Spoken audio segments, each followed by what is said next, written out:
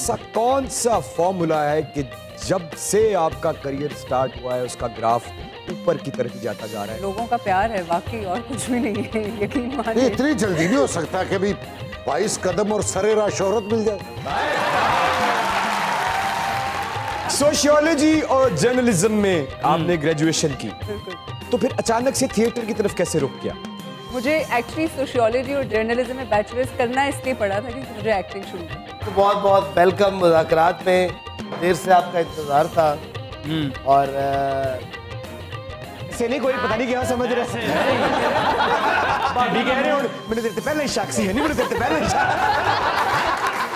ਨਹੀਂ ਭਾਈ ਨੇ ਮੂੰਹ ਹੀ ਇੰਜ ਦਾ ਕੀਤਾ ਉਹਨਾਂ ਦਾ ਹੱਥ ਪਰਸਲ ਜਾ ਰਿਹਾ ਸੀ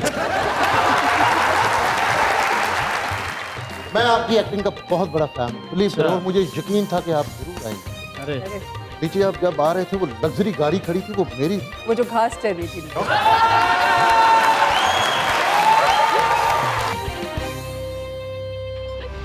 मज़ाक रात ईद स्पेशल ईद के दूसरे दिन रात दस बजकर तीन मिनट पर। सिर्फ़ दुनिया न्यूज़ पर।